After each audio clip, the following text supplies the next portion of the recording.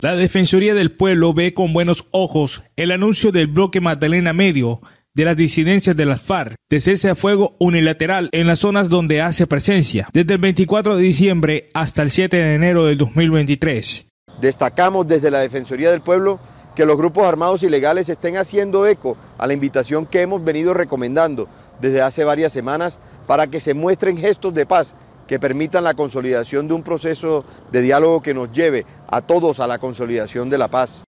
Asimismo, indican que estarán vigilando para que cumplan la tregua anunciada, especialmente en norte de Santander, sur de Bolívar, nordeste de Antioquia y Magdalena Medio. Por su parte, le hacen la petición a las disidencias de las FARC para que cesen de manera definitiva todas las acciones que vienen afectando a las comunidades de estas zonas del país y de otras donde hacen presencia.